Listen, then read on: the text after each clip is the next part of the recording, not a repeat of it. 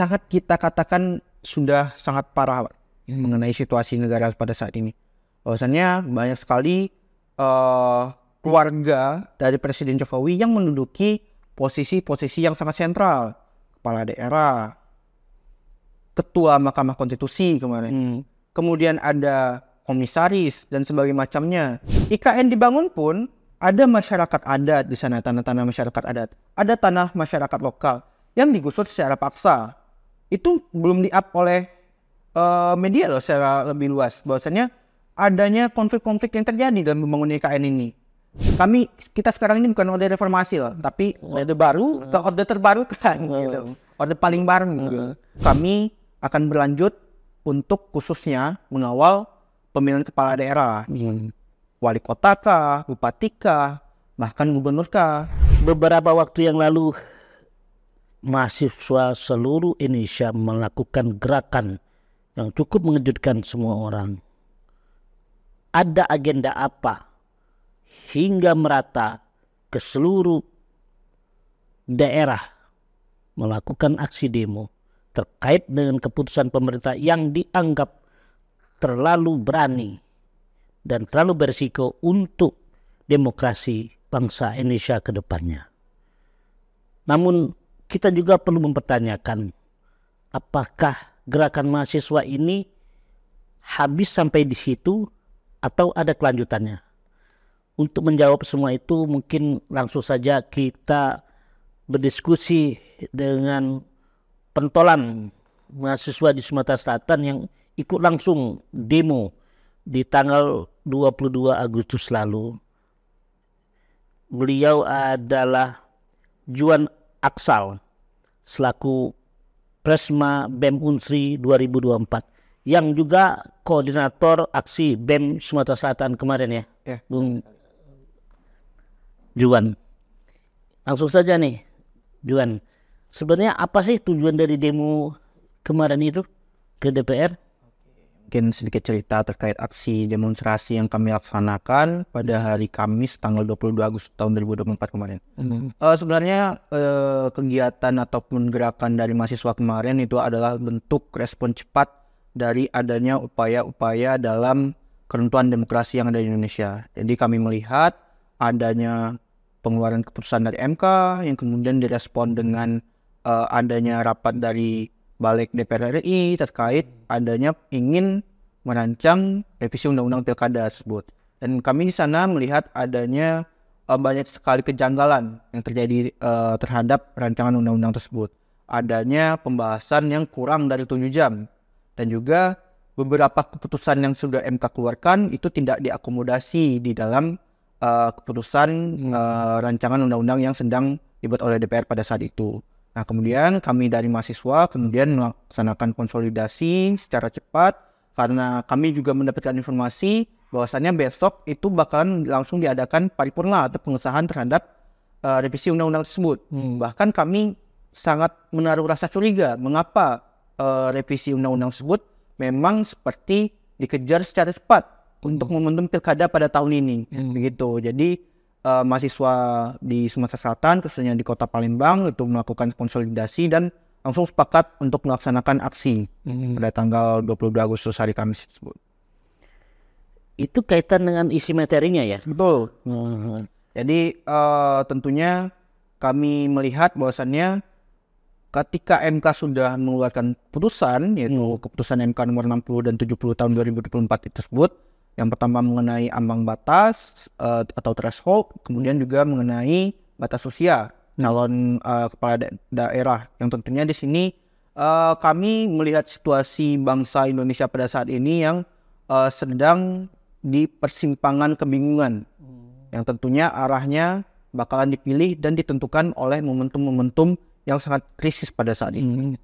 Jadi kami mahasiswa sepakat bahwasannya keputusan MK adalah keputusan yang final dan mikat bahwasannya tidak ada upaya-upaya lain untuk menganulir keputusan tersebut gitu. Ini keputusan atau manuver politik yang dilakukan anggota dewan juga banyak menilai mengarah ke satu orang Betul, betul. Kaisang kita sebut langsung.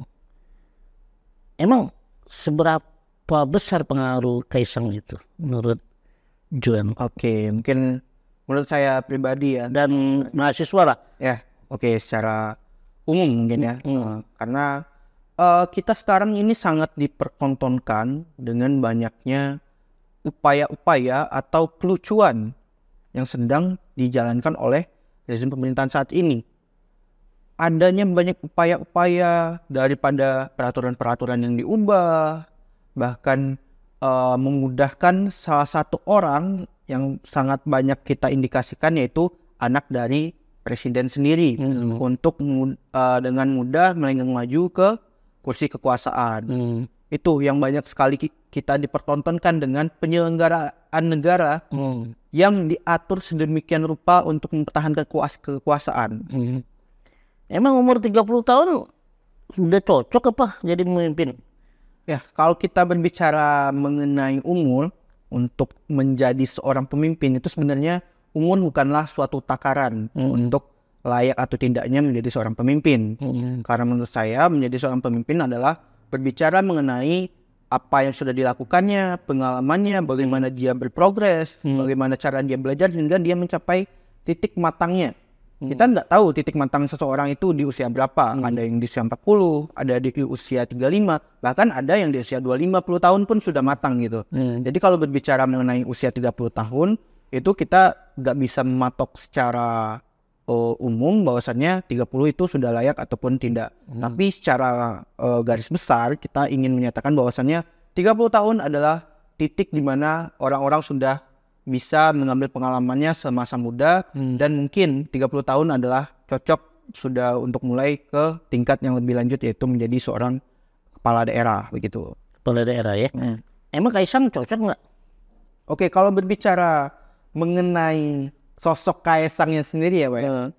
Karena eh, ini mungkin opini pribadi saya dan menilai, eh, menilai Mas Kaisangnya sendiri. Kita lihat bahwasannya Mas Kaisang ini eh, lebih banyak terjun di dunia bisnis Hmm. pada sebelumnya. Dia banyak berkecimpung di bidang eh, apa namanya? Kemarin ada usaha Pisang. sang, sang pisang ya. Hmm. Nah, kita tidak melihat banyaknya Mas Kaisang ini berjalan eh, mengenai pembelajaran mengenai bagaimana tata kelola negara, eh, bagaimana dia eh, bergerak di dunia kepemudaan dan sebagainya macamnya. Belum banyak terdengar mengenai hal tersebut. Jadi eh, pada dasarnya dia pun menjadi ketua eh, salah satu partai politik kemarin dengan sehari menjadi kader langsung menjadi ketua parpol. Nah itu eh, menurut saya adalah hal yang sangat lucu ketika partai salah satu partai politik pun langsung memberikan tahta kekuasaannya Hmm. ke salah seorang yang belum tahu kapasitasnya Hmm. gitu Ini ada yang menilai, ada yang sedikit pesimis. Ini ap- aksi mahasiswa ini dianggap sudah terlambat, gitu kan? Emang benar apa? oke ini mungkin saya menjawab eh, opini-opini liar dari Hmm. masyarakat mengenai aksi mahasiswa yang mungkin dikatakan terlambat. Kenapa nggak dari dulu gitu? Oke, eh adanya permasalahan ini dapat kita katakan dari adanya keluarnya keputusan MK pada saat itu, yang kemudian direspon oleh DPR RI. Kemudian kami mahasiswa melakukan konsolidasi setelah adanya agenda dari DPR RI ingin melakukan revisi undang-undang tersebut. Kami melakukan konsolidasi dalam semalam dan persiapannya pun sangat minim. Hmm. Eh, pada malam itu konsolidasi, besoknya langsung aksi. Itu adalah suatu bentuk eh, bagaimana kami merespon isu ini yang sangat-sangat kami rasakan sebagai eh, isu yang sangat urgent untuk dilapso, di, eh, melakukan aksi gitu. Kalau dikatakan terlambat, bagaimana caranya kami dalam semalam melakukan konsolidasi dan besoknya langsung melakukan aksi begitu, Hmm. gitu pak. Ya kenapa nggak harus? Kan ada isu-isu besar lainnya kemarin kok baru sekarang gitu. Itu pertanyaan mereka juga. Oke, eh, terkait apa saja yang sudah dilakukan sebelumnya, tentunya eh, isu-isu yang selalu dibawa oleh setiap mahasiswa biasanya berbeda-beda. Jadi ada yang merasakan isu ini urgen, ada yang ini biasa saja, dan setiap eh, gerakan mahasiswa biasanya itu punya isu strategisnya masing-masing. Namun ketika ada yang memang eh, fokus terhadap isu ini, ada apa sih pak yang fokus terhadap isu pemilihan kepala daerah dan sebagainya macamnya. Tapi tidak dengan skala besar karena terpisah-pisah tadi, terpolaritas tadi. Namun dengan adanya momentum kemarin itu sebenarnya tidak hanya mahasiswa sebagai mahasiswa yang harus terjun terhadap uh, mengawal isu tersebut. Bahkan uh, banyaknya mahasiswa-mahasiswa yang apatis itu bahkan sudah langsung oh ini salah nih. Langsung uh, merespon hal tersebut dengan kegelisahan dan kemarahan. Jadi tidak perlu kita uh, berbicara mengenai harus paham politik, harus paham hukum untuk mengawal isu tersebut. Bahkan menjadi seorang warga negara yang biasa saja yang nantinya akan mengikuti yang namanya pesta demokrasi tersebut Ya. harusnya merasakan keresahan yang sama gitu pak Ini pergerakan dari mahasiswa udah selesai tuh belum?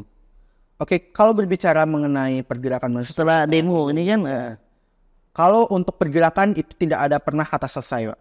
Karena dari ta- eh, dulu kalau kita membuka sejarah lebih eh, sedikit membuka sejarah bahwasannya adanya gerakan Budi Utomo pada eh, tahun sebelum kemerdekaan kemudian dilanjutkan dengan adanya persatuan seluruh pemuda Indonesia yang kristal dalam Sumpah Pemuda kemudian adanya gerakan pemuda dalam menculik Bung Karno untuk eh, mendesak memproklamarkan eh, kemerdekaan Indonesia Iya. Kemudian kita lihat lagi pada tahun 98 adanya gerakan mahasiswa dan pemudaan Bo, untuk menurunkan rezim yang otoriter.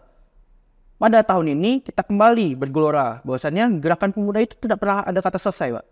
Itulah bagaimana caranya mahasiswa dan pemuda memaknai yang namanya kemerdekaan. agenda selanjutnya apa nih setelah ini? Banyak sekali agenda selanjutnya kalau berbicara tentang agenda kalau khususnya Enggak ini ini, ini kelanjutan dari demo ini masih ada nggak eh, akan terus bergerak nih mahasiswa nih. Oke, kalau khususnya mengenai masalah setelah ini nih. MK ini, Mbak ya, me- melalui konsolidasi yang sudah dilakukan kemarin bersama kawan-kawan BEM Sumatera Selatan juga, bahwasannya kami mencukupkan untuk mengawal isu yang namanya eh, keputusan MK tersebut eh, dengan eh, mengawal dalam bentuk demonstrasi.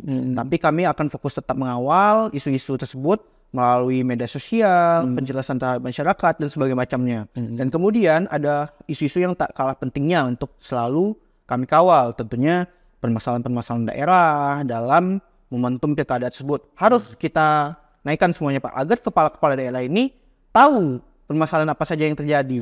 Kemudian adanya banyak sekali rancangan uh, undang-undang yang bakalan dikejar hingga akhir tahun ini seperti rancangan undang-undang TNI Polri, perampasan aset dan sebagainya macamnya. Yang perlu kita kawal bersama-sama. Ini pandangan mahasiswa juga pandangan anak muda juga bahwa dinilai mendekati akhir kekuasaannya Jokowi dinilai dalam tanda kutip agak lain. Itu agak lain. Hmm. dari pandangan anda sendiri gimana melihat sosok Jokowi? Apakah memang sesuai dengan representasinya pemimpin bangsa atau gimana lah pandangannya Oke, kalau berbicara mengenai Presiden Jokowi dan tanda kutip ya. Eh, kalau dari saya pribadi menilai eh, Presiden Jokowi memang sudah melaksanakan eh, eh, apa namanya eh, rancangan ataupun eh, banyaknya sekali pekerja-pekerjaan yang sesuai untuk pembangunan negara Indonesia.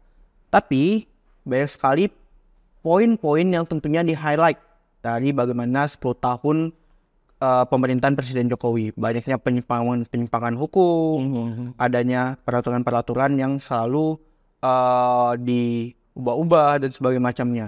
Dan kami itu sepakat melabeli Presiden Jokowi ini kalau kita tahu bahwasannya dulu ada orde baru dan kita rebut dengan orde reformasi, sekarang kita merasa orde reformasi itu sudah mati.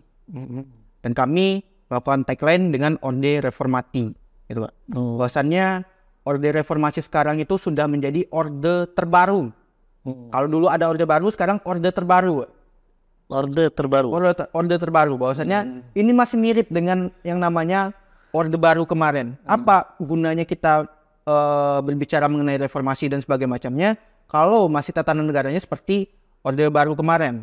Gitu. Bahkan kita bisa lebih katakan lebih parah lagi daripada orde baru kemarin gitu. Makanya kami menjuluki pada saat ini adanya orde reformati. reformati Bukan reformasi ya. bukan reformasi lagi, or- orde reformati.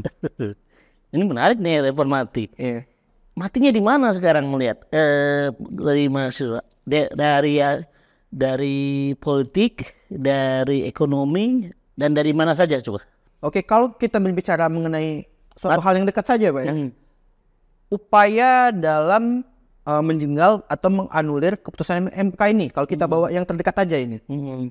itu adalah upaya dalam mempermudah atau melanggengkan eh, koalisi yang sekarang sedang sangat kuat yaitu koalisi Indonesia Maju untuk mudah melanggengkan kader-kadernya menjadi eh, menduduki kursi kekuasaan Hmm. itu yang pertama dan kedua adanya kita kalau berpacu terhadap eh, revisi undang-undang yang di eh, sedang dibuat oleh DPR kemarin, kita bisa melihat bahwasannya itu adalah upaya dalam meminimalisir adanya calon-calon lain untuk berkontestasi dalam pilkada tersebut. Jadi kita sebagai masyarakat nih, memang dikasih pilihan, tapi pilihan kita minim, Hmm. nggak ada pilihan lain, dan adanya politik akal-akalan dalam menghadirkan pasangan yang independen. Yang kita tahu, kita nggak tahu nih siapa pasangan independen tiba-tiba muncul. Hmm. dan itu adalah sebagai bentuk kami eh, kami nilai politik akal-akalan untuk agar eh, demokrasi tetap berjalan dalam konteks demokrasi tetap berjalan tapi kita masyarakat tidak diberi pilihan yang untuk eh, secara luas oh ini gagasannya diadu dengan gagasan ini mana yang memang yang lebih bagus nih. Nggak ada pilihan yang seperti itu. Jadi demokrasi kita dibatasi pilihan kita dibatasi dan kita terpaksa tunduk terhadap sistem yang dibuat Ini kan kerjaannya elit-elit politik juga. Benar sekali. Isu yang diangkat kemarin adalah isu elit politik sebenarnya. Hmm. Tapi dalam eh, apa merespon situasi bangsa dan negara pada saat ini, kami sama sekali tidak ada ditunggangi oleh elit politik. Itu. Itu ada pure bagaimana kami memang memaknai kondisi bangsa dan negara pada saat ini. Setujukah kawan-kawan mahasiswa itu dengan Raja Jawa? Wah, berbicara dengan Raja Jawa, itu sangat lucu. Heeh. kalau berbicara mengenai eh, apa namanya julukan Raja Jawa. Kita nggak tahu apa yang terjadi hingga dijuluki dengan Raja Jawa. Tapi dalam benak saya ketika dijuluki Raja Jawa berarti memang ada kekuasaan yang absolut yang dimiliki oleh eh, presiden kita hingga dijuluki Raja Jawa tadi Ini kan kaitan dengan dinasti politik. benar sekali Memang sudah separah itukah politik kita? kalau berbicara Tinggal membentuk ada Raja Jawa, dinasti, keluarga. Ya kalau berbicara mengenai eh, dinasti politik, Raja Jawa dan sebagainya macamnya tadi, sangat kita katakan sudah sangat parah Pak, mengenai situasi negara pada saat ini. Bahwasannya banyak sekali eh, keluarga dari Presiden Jokowi yang menduduki posisi-posisi yang sangat sentral, kepala daerah, ketua Mahkamah Konstitusi kemarin, Hmm. kemudian ada komisaris dan sebagainya macamnya Hmm. yang di mana suatu negara Republik Indonesia ini yang kita katakan dengan penduduk eh, jumlah penduduk yang sangat besar hingga 200 juta dengan eh, luas negara yang sangat besar dengan kekayaan sumber daya alam yang sangat berlimpah tapi hanya diatur oleh satu keluarga saja. Bagaimana sangat lucunya kita Iya, iya, dengan kondisi negara pada saat di sini. Sekarang kawan-kawan Gen Z puas nggak dengan pemerintahannya yang ada sekarang ini? Kalau berdasarkan sumber dari pemerintah sendiri kan ada datanya sendiri, Pak. Iya. Bahwasannya eh, masyarakat Indonesia itu memiliki kepuasan yang tinggi. Tinggi, tertinggi di Jokowi. dunia malah. Benar sekali. Iya. Ya kan? Hmm. Tapi apakah hal tersebut kita katakan s- sudah sesuai dengan pendidikan yang merata dengan masyarakat Indonesia? Dari kalangan mahasiswa gimana? Oke, kalau dari kami, kalau mahasiswa bahwasannya orang-orang yang memiliki ataupun eh, lanjut ke pendidikan tinggi yang ada di Indonesia itu berapa persen cuman? Kurang dari 10 persen dari 200 eh, ratusan juta penduduk Indonesia Hmm. Hanya kurang dari 10 persen yang dapat eh, pendidikan tinggi di Indonesia ini Hmm. itu dapat kita katakan bagaimana negara itu masih mencoba untuk memainkan pikiran masyarakat. Kalau masyarakatnya kritis, maka bakalan ada oh penilaian eh, terhadap pemerintah ini seharusnya gini gini gini gini. Artinya percaya nggak dengan hasil survei itu? Kalau saya pribadi tidak percaya karena masih banyak masyarakat Indonesia yang belum memenuhi eh, apa namanya pendidikannya masih belum layak. Jadi dengan masyarakat yang masih pendidikannya masih belum layak, kita katakan ya mudah untuk pemerintah untuk mendapatkan survei kepuasan kepuasan tersebut. Mm-mm. Ini banyak nih eh, permasalahan ada biaya UKT yang tinggi, pekerjaan yang semakin sulit kalau nggak pakai orang dalam. Ini kan bahasa orang dalam nih. Pasti Nah, kemudian apa lagi nih? Nah isu-isu yang bansos, gitu kan? Nah isu-isu ini su- masuk dalam agenda kawan-kawan mahasiswa nggak? pasti. Hmm. Apalagi yang pertama eh, biaya kuliah yang tinggi. Itu adalah isu yang memang kalau dikatakan mempersatukan mahasiswa yang sedang terpolarisasi sekarang. Hmm. Entah itu ada aliansi apa pun dan sebagainya macamnya. Kalau rasanya mereka eh, menghadapi permasalahan yang sama yaitu biaya kuliah yang tinggi pastinya bakalan disatukan dengan rasa eh, senasib. Hmm. dan pastinya isu-isu seperti ini adalah isu-isu yang bakalan dikawal sama-sama oleh kalangan mahasiswa. Karena dirasa sangat merugikan. Karena dikatakan si miskin tidak bisa sarjana.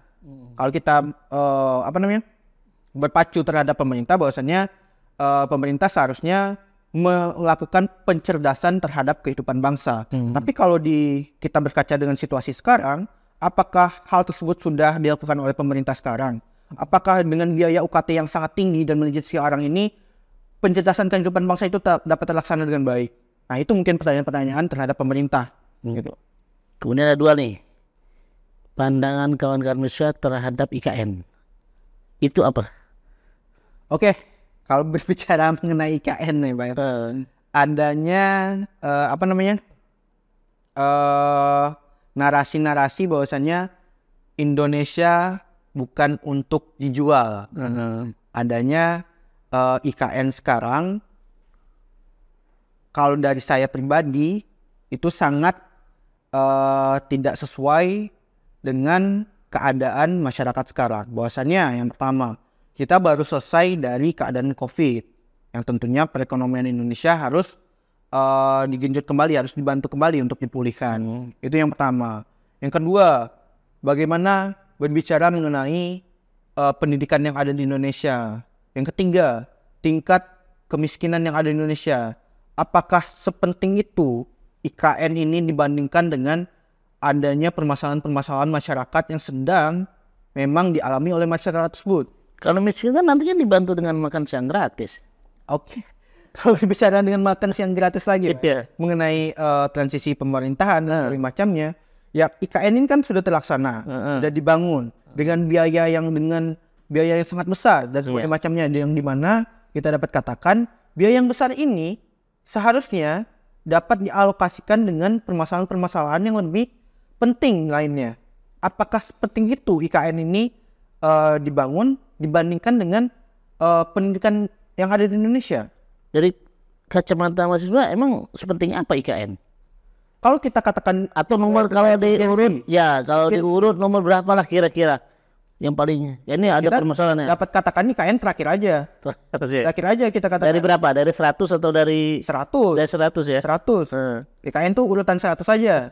gitu kan? Karena urgensinya nggak terlalu kita rasakan. Yang satu apa nih yang satu kalau daripada Ya, kita bisa katakan eh, mengenai isu pendidikan, isu kemiskinan yang ada di Indonesia, kesejahteraan masyarakat. Heeh.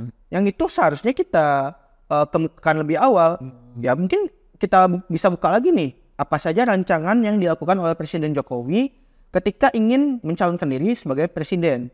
Pastinya adalah isu-isu masyarakat dan kerakyatan bahwasannya eh, bagaimana caranya mencerdaskan kehidupan bangsa, mensejahterakan, mensejahterakan masyarakat, membangun infrastruktur dan sebagainya macamnya. Kan begitu isu-isu yang dijual oleh presiden. Tapi berarti itu isunya politik ya?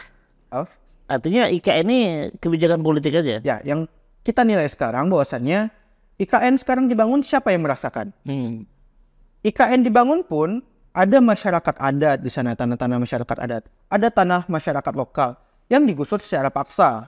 Itu belum di-up oleh eh, media loh secara lebih luas. Bahwasanya adanya konflik-konflik yang terjadi dalam membangun IKN ini, pemaksaan dan sebagainya macamnya. Ya ketika mereka sudah eh, apa namanya merancang suatu undang-undang dan disahkan untuk menjadi membangun IKN tersebut, ya masyarakat mau nggak mau ya harus digusur dan sebagainya macamnya. Bagaimana masyarakat ada di sana bisa bersuara dan sebagainya macamnya jika pemerintahnya sudah eh, setuju semuanya untuk membangun IKN dan yang dirasakan eh, untuk pembangunan IKN ya kaum kaum elit politik yang bakalan eh, melakukan pem- kepemerintahan di sana. Ini kemarin sempat diskusi juga. Kalau situasi ini tidak ada perubahan yang lebih baik, banyak yang prediksi Jokowi akan turun sebelum Oktober.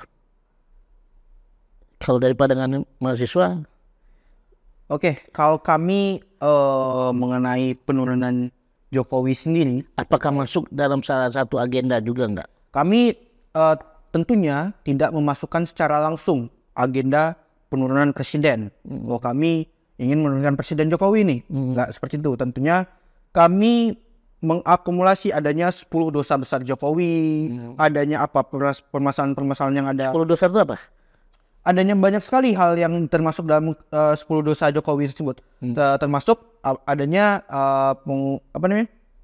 perancangan terkait undang-undang eh, pembatasan pers ya, Hmm, pers ada. Iya, Kemudian rancangan undang-undang TNI Polri. TNI Polri. Nah, yang saya sebutkan tadi juga. Itu termasuk ke dalam eh, yang namanya kami menganggap termasuk dalam 10 dosa besar Jokowi. Bahwasannya Jokowi sekarang eh, dianggap telah gagal dalam memimpin negara Indonesia tersebut. Jadi da- dari 10 eh, dalam 10 dosa besar Jokowi itu kami menuntut eh, Pak Jokowi memang untuk eh, dalam hal eh, sisa-sisa waktunya dalam waktu dekat ini untuk memperbaiki apa yang sudah ada. Kalau tidak sanggup ya turun.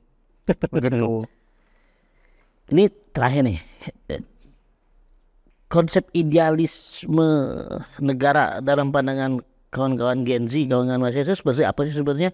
Kalau reformasi kan kemarin kan eh, kol- korupsi, kolusi dan nepotisme nih. Nah ini apa nih eh, dalam ide- idealnya kawan-kawan Gen Z, kawan-kawan mahasiswa nih? Uh, sebenarnya kalau dari pemikiran saya pribadi bahwasannya konsep reformasi sendiri pada saat ini itu sudah jauh dari uh, apa yang kita cita-citakan sebagai uh, reformasi tadi. Adanya korupsi, kolusi dan nepotisme itu bahkan sudah uh, lebih masif dari sebelumnya. Kalau dulu kita melihat bahwasannya KKN ini ter- terjadi di tingkat pusat atau di sentral saja, sekarang sudah menyamur di berbagai daerah hingga di pelosok daerah pun sudah ada. Adanya nah, yang namanya korupsi, bahkan tingkat desa ada, kolusi ada, nepotisme ada gitu. Jadi adanya upaya-upaya tentunya dari kami mahasiswa ingin mengubah yang namanya format reformasi ini sesuai kembali sesuai dengan adanya cita-cita reformasi tersebut. Jadi kami ingin benar-benar memaknai reformasi ini sebagai bentuk eh, perjuangan mahasiswa untuk meraih yang namanya benar-benar cita-cita reformasi tersebut. Orde apa namanya nanti kalau pengen tadi? Kalau kita berbicara mengenai Kalau kemarin dari orde baru ada ada reformasi. ya benar. Nah, Dari mahasiswa apa? Kalau untuk eh, tagline ordernya ya, Iya. eh, kami sebenarnya bukan berbicara mengenai permasalahan nama ordernya, Iya. tapi bagaimana caranya memang mengubah format reformasi yang Iya. sebenarnya kita cita-citakan kemarin itu dapat terlaksana, memang terlaksana di order reformasi pada saat ini, restruktural reformasinya kami inginkan gitu. Ada namanya nggak kira-kira ini? Kalau sekarang belum ada, Belum ada ya. Bukan yang yang terbarukan tadi apa? itu kan julukan Dulu kan. untuk uh, keadaan orde reformasi sekarang bahwasanya kami kita sekarang ini bukan orde reformasi loh tapi orde baru ke orde terbarukan gitu orde paling baru gitu. Jadinya reformati ya. reformati gitu. Jadi bukan jadi jadi belum belum, belum ada Belum nama ada yang namanya cita-cita reformasi itu diwujudkan Oh, oh, belum ada ya. Jadi belum juga ada ada nama yang terbaru ini ya. belum belum belum mengarah ke sana Belum mengarah ke sana. Tapi ada agendanya juga nggak ke sana? Eh, kalau sejauh ini eh, pastinya fokus Dari kawan-kawan mahasiswa lah seluruh belum Indonesia. ada pembahasan mengenai tersebut belum ada Belum ada ya. untuk eh, pengubahan format nama dan sebagainya belum ada Belum ada sampai sekarang. Eh agenda s- sekarang apa yang cuk yang lagi update ini? Kemarin eh, kita ada diskusi tadi lagi fokus membebas, membebaskan kawan-kawan mahasiswa gitu. Nah, eh, apa yang terbaru apa? eh kalau sejauh informasi yang saya dapatkan juga dari kawan-kawan pusat itu sebenarnya masih terkait eh, pembebasan kawan-kawan yang memang eh, kemarin itu tertangkap pada saat aksi demonstrasi pada tanggal 22 dan 23. Tapi dengan tetap yang namanya eh, mengawal eh, apa namanya keputusan MK dan juga ada beberapa eh, rancang undang-undang yang pengen dikejar oleh DPR juga itu dimasukin ke dalam eh, poin-poin tuntutan seperti TNI Polri tadi, perampasan aset dan sebagainya macamnya itu tetap kami suarakan. Karena inilah momentumnya karena kemarin sudah eh, terbakar amarah semua, kenapa nggak sekalian dilanjutkan dengan isu-isu yang lainnya. Tapi terkhusus eh, gerakan di Sumatera Selatan dan khususnya Kota Palembang itu kami akan berlanjut untuk khususnya mengawal pemilihan kepala daerah. Wali kota kah, bupati kah, bahkan gubernur kah, bahkan ka- eh, saya pribadi dan rekan-rekan eh, yang ada di BEM Unsri maupun eh, ada beberapa teman-teman dari masyarakat sipil dan juga alumni Unsri itu eh, fokus membuat suatu wadah diskusi yaitu yang namanya Benah Palembang. Jadi Benah Palembang ini adalah wadah eh, sebagai bentuk bahwasannya kami Gen Z dan milenial sekarang yang ada di kota Palembang itu adalah generasi penentu pe- hasil pemilihan nanti loh. Betul. 55 eh, 55 persen suara itu berasal dari Gen Z dan eh, generasi milenial. Dari pandangan kawan-kawan mahasiswa bagaimana Eh, kondisi pilkada saat ini Ok- Oke, kalau berbicara mengenai kondisi pilkada terkait di Sumatera Selatan, Palembang umumnya ya, itu masih minim kami melihat adanya eh, adu gagasan. Tapi lebih banyak memper- eh, mempertontonkan bagaimana branding diri dia sebagai eh, kepala daerah yang eh, sesuai dengan apa yang dia inginkan. Misalnya eh, kalau dia eh, kepala saya ini adalah orang yang eh, lucu. Nah, itu yang lebih dipertontonkan ke masyarakat. Namun kami sebagai Gen Z dan kaum milenial yang tentunya ke depannya akan berlanjut ke dunia praktisi dan profesional, kami membutuhkan lapangan pekerjaan tentunya. Iya, iya. Kami tidak butuh yang namanya lucu-lucuan dan sebagainya macamnya. Bagaimana gagasan pemerintah atau calon kepala daerah ini benar-benar mengakomodasi keputus- eh, kebutuhan kami. Bagaimana ruang-ruang kreasi dan kreativitas kami memang diwadahi. ini akibat keterlibatan oligarki yang kuat nggak kira-kira ini? Eh, kalau kita melihat eh, tentang kondisi yang ada di kota Palembang dan Sumatera Selatan pada saat ini, tentunya itu masih eh, berada eh, kita katakanlah di kata aman terkait eh, adanya banyak calon yang memang Hmm. eh, mengajukan dirinya, adanya berarti demokrasi yang ada di Sumatera Selatan dan kota Palembang ini benar-benar eh, terwujud gitu kan. Terwujud, ya. Jadi eh, masyarakat memiliki banyak pilihan untuk di compare, untuk disandingkan ketika eh, kebijakan gagasan yang diberikan oleh calon A tidak sesuai, kita kembali ke calon B atau ke calon C gitu kan. Jadi eh, kami merasa masih cukup aman di kota Semakin banyak semakin bagus ya. menurut Semakin bagus. Ah, Jadi memang ada kompetisi. ada kompetisi ya. Ini dari kalau masa faktor koalisi di pilpres kemarin dengan yang di pilkada sekarang pengaruhnya ada nggak? sangat besar, saya Besar. katakan. Ketika kemarin eh, PKPU itu sudah disahkan dan disetujui oleh DPR dan juga eh, beberapa komponen pemerintahan, kita bisa melihat fenomenanya sekarang. Hmm. Ketika awalnya eh, koalisi Indonesia Maju itu sudah sangat solid dan bahkan menambahkan beberapa koalisi Hmm. yang sebelumnya menjadi oposisi seperti PKS, Nasdem dan PKB itu malah merapat ke koalisi Indonesia Maju atau kita katakan Kim Plus dan eh, kita melihat peta politiknya di Jakarta kemarin solid mengusung satu nama gitu kan. Dan itu pun em, hal yang bakal terjadi di berbagai macam daerah. Tapi setelah disetujuinya atau disahkannya PKPU kemarin kita melihat nih fenomena politiknya. Banyak sudah koalisi Indonesia Maju itu yang mulai mengusung kadernya sendiri. Contohnya di Banten itu Golkar yang awalnya tidak mengusung kadernya sendiri sekarang sudah mengusung Iya. kadernya sendiri. Itu itu pun eh, berbagai macam daerah bakalan terjadi fenomena pengusungan kadernya sendiri gitu. Artinya cukup sudah sangat luar biasa dampaknya yang kita lihat. Ini karakter Gen Z. Banyak yang ngomong Gen Z ini bangunnya siang. Satu. Yeah, yeah.